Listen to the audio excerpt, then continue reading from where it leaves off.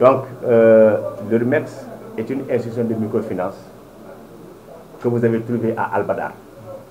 Donc, que les gens ont communément, euh, que les gens appellent communément les mutuelles isolées.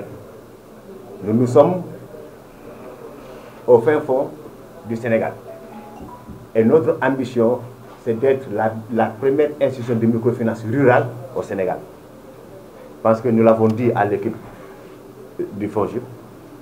Et nous travaillons, et- nous, travaillons de manière vraiment euh, de toutes nos forces pour la réalisation de ces objectifs. Monsieur l'administrateur général, aujourd'hui, vous avez ici un échantillon représentatif de toute la Casamance.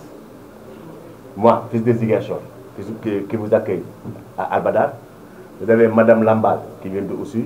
Vous avez Monsieur le maire, même s'il est sociétaire, mais par ailleurs, euh, adjoint au maire de Cafontine. Donc je pense qu'aujourd'hui, c'est la Casamance qui vous reçoit à Albadar.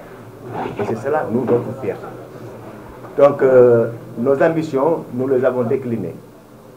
Euh, et vraiment, depuis que nous avons commencé ce partenariat avec euh, le FONGIP, euh, nous avons sept caisses au niveau de la Casamance, pour, pour le moment. Il y a la caisse de Pocomel qui est à Ziguinchor, qui a financé 8 bénéficiaires pour un montant global de 34 millions 075 000.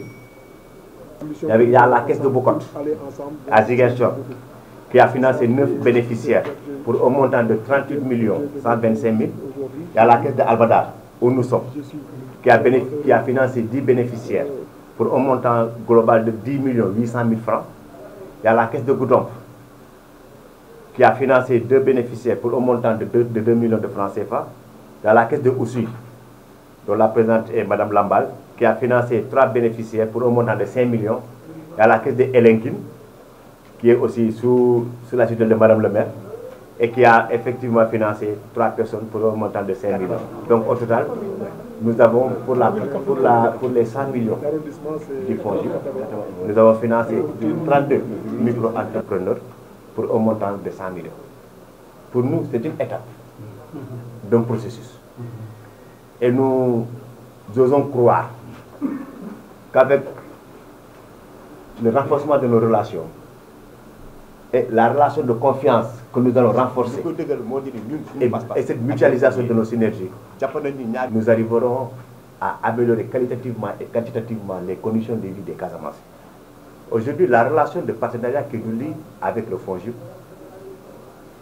c'est une relation que nous, nous voulons inscrire dans la durée. Mais que nous voulons inscrire aussi dans une dynamique de partenariat gagnant-gagnant au profit exclusif des populations de la Casamance.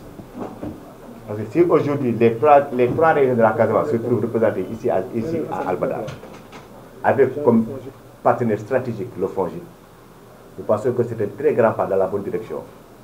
Et nous, en tout cas, pour ce qui nous concerne, l'URMEX, à travers l'URMEX, la Mécaramélor, nous allons travailler de toutes nos forces pour que cette relation de partenariat et de confiance soit fructifiée, soit renforcée, et que d'ici quelques années, qu'on puisse vraiment montrer aux Sénégalais les fruits de ce partenariat. Aujourd'hui, je suis très heureux de dire aux populations de la Casamance et du Sénégal qui se, qui se poseront des questions. Quel est l'impact N'est-ce pas? Euh, Quel est l'apport du FONGIP dans le développement de la Casamance? Aujourd'hui, peut-être il y, a des- y a des bénéficiaires qui sont là, que nous avons invités, que les populations peuvent voir de manière concrète et qui peuvent témoigner de l'impact que le FONGIP a au niveau du développement aussi bien de la commune de Cafontine, du département de Bignona, que de la région de Ziguinchor.